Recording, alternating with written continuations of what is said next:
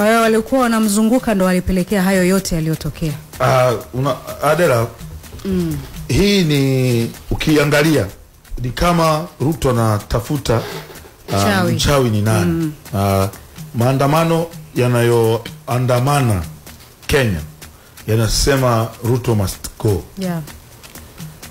sasa yeye badala ya go yeye yuko anatoa wengine si kama unanielewa vizuri lakini uh, wananchi wa Kenya wameonyesha mfano ya kwamba uh, kuna baadhi ya vitu viongozi hawapaswi kuchukulia kawaida kuna mm. baadhi ya vitu vikitokea vinagusa maisha ya watu watu wanaweza wakatoka na sumu ikamwagika kutoka kwenye sura zao kutoka kwenye sura za kucheka mm. wakawa na sura zingine ukiangalia maandamano ya Kenya Adela Yes. kwa kutulia sana ukiangalia zile video zao mm. ni kama uh, wamekuwa masugu Hawaogopi chochote, mtu anaanguka hapa anakufa wanamluka wanaendelea wanakuja. Hawakimbii. movie za zamani ni kama movie ya za wa Vietnam.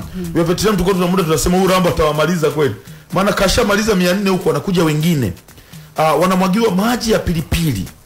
Maji ya pilipili wanayaoga Kwanza kuna ile ile bomu wanachukua bomu wanasema wanataka la strawberry. yes mwingine bomu la machozi lile Eh. wanalichukua wanalidaka wanaanza kulivuta. Mwingine bomu linakuja wakati lina, limetupwa wakati liko angani yeye analipiga kama Haaland analirudisha kwa polisi. Yaani ni kama walikuwa masugu na sasa rais anajaribu kupapasa ni wapi ambapo Shida ile akigusa wananchi wanaweza wakafanya nini? Wakarudi Baba, Baba- Baba baba, baba, baba, baba, baba, baba, ukisikia maneno yake uh, kwa sisi ambao kiingereza chetu ni cha kubabia babia lakini maneno yake ya mwanzo kabisa yanachosema ni kwamba wakenya walikuwa na imani kubwa na yeye. Mm. na waliamini kupitia yeye uh, kenya uh, mambo mengi yatabadilika ndani yeah. ya kenya. Kwa hiyo ku- mambo kutobadilika yanapelekea wakenya wanaamua kutoa sasa hii sumu ambayo wameitoa this time around lakini pia yeye nguvu yake kubwa pia ameiweka kwamba watu waliomzunguka ambao amewateua kwa ajili ya kumsaidia kazi uh, wanaacha mpaka inafikia hatua wananchi Mm, wanaingia mtaani kuna maana tafsiri yake hakumshauri vizuri lakini baba levo mm. uh, ruto anafanya kila anachoweza kumtoa kafara kila mtu ili abaki madarakani eh, kwa sababu hiyo uh, ulosema kwamba watu wanasema ni yeye ndio atoke mm. lakini ruto naye anani- ananiconfuse kitu kimoja balevo labda hiyo mm. ulikuta ukiwa china mm.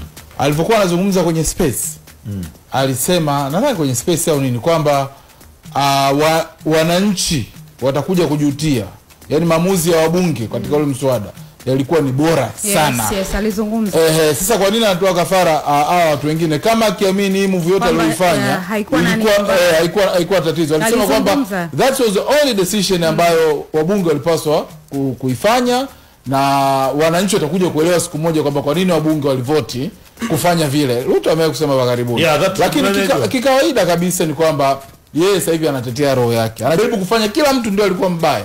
Na sio yeye. Unajua kuna kuna kuna kuna kosa moja kimtazamo ambalo huwa naliona kwa viongozi wengi barani Afrika. Wana wanahodhi wanahodhi nchi. Unajua mtu anasema serikali yangu serikali yangu serikali yangu. Maana yake linapotokeza tatizo ndio maana watu wanaweza wakaja moja kwa moja na wakakupointi kwa sababu umewaaminisha kwamba hii ni serikali yako. Nchi haiendeshwi na mtu inaendeshwa na mifumo. Mm. na rais anakuwa ni mkuu wa nchi. Lakini maendeleo yoyote kwenye nchi hayaletwi na mtu. Yanaletwa na mifumo imara ambayo imewekwa. Msingi wa hiki chote ambacho kimetokea nchini kenya na kinachoendelea ulianzia bungeni. Nikuja kuzungumza hapa. Mm.